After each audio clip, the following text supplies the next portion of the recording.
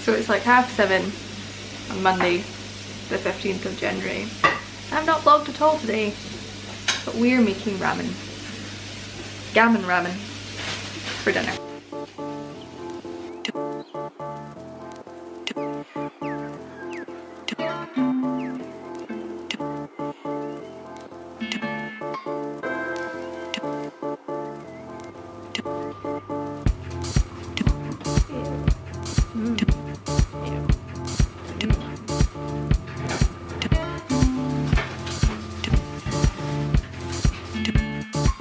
It's 20 to 8 in the morning. I stayed at Jermaine's last night and probably should have driven home. Um, but my internship is not until 10 o'clock. So I thought if I leave at 7, I can get home and have a quick, bear in mind the journey is about an hour, under an hour. So I thought I'll leave two hours and I google checked it and it said yeah if you want to be home by 9 leave at 7 and it's lit like literally I've been in the car for 40 minutes and have done about 7 miles. Uh, bear in mind I've got a book full of food. I haven't showered or washed my face. There's no way I can go straight to my internship. But it's it's a volunteering position so they're very very flexible.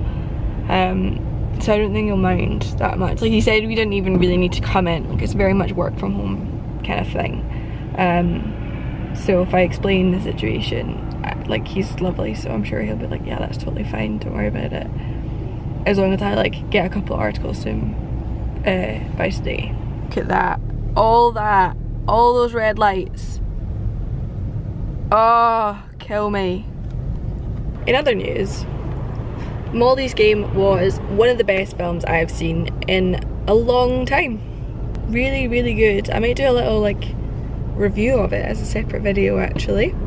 Because you know, I'm a film student, that's what I feel my YouTube should be about. I really, really enjoyed it. I've not seen a movie in a long time that's kept me so like engaged the whole way through. And I thought the format of the way that they told the story was very interesting. There's parts where it's even a bit meta because it's based on a true story.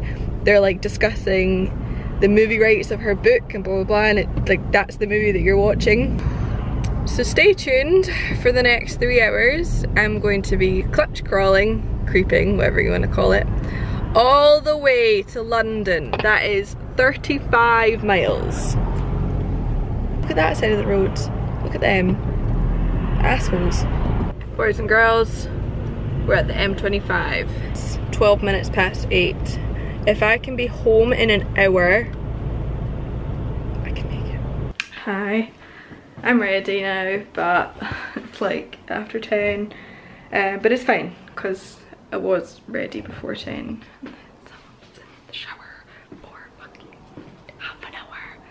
So I just phoned him up and was like, look, I can come in for this time or I can come in tomorrow afternoon. It depends what's easier for you, blah, blah, blah. And he was like, look, just come in tomorrow afternoon. Like, don't worry about it. Write up a few drafts today. We can discuss them tomorrow. So I'm just gonna give my room a quick tidy, film my little update video. Then I'm gonna go to the library. I'm not kidding. I think I might have just broken my nose. Oh my God. I was closing my car door and this is just a prime example of why I want a nose job. It just sticks out so much further than I think it does. So I closed the door on my nose and it's, oh my god. It's like just stopped bleeding. Ow. D does it look more squint than before? Because I think it does.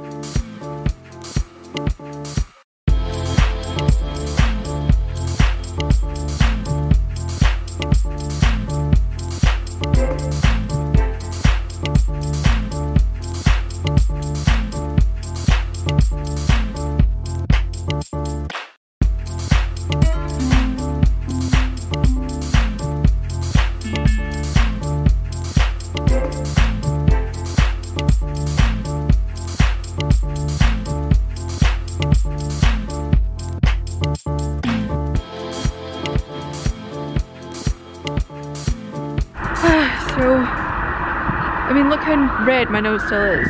This is not okay.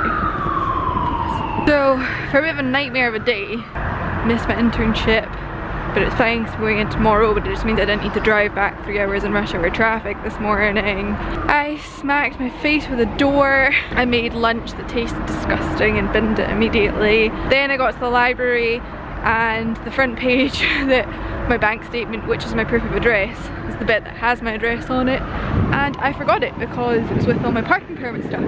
I just lifted the rest of the statement. So I couldn't get into the reading rooms of the library, so I sat in the library cafe, but it was still better than nothing.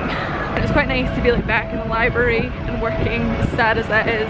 Now I'm walking to Euston and I'm going for dinner at Jermaine's sister's.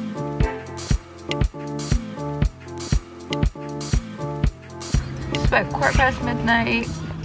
I got the train to Tring, had dinner at Jermaine's sister's, hung out, had some wine, and now I'm going back to Henlow where I bloody left this morning because I missed the last train that would have got me on the tube. So I'm to sign off now. I'm in Jermaine's car, freezing cold because he's picking some stuff up at his old working train. My battery may die before I make it home tomorrow, so you might not hear from me until then.